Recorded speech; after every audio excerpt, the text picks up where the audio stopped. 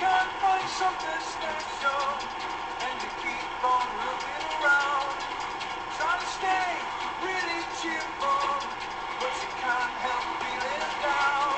That's when you need a friend to help you brighten up your day. You want to look.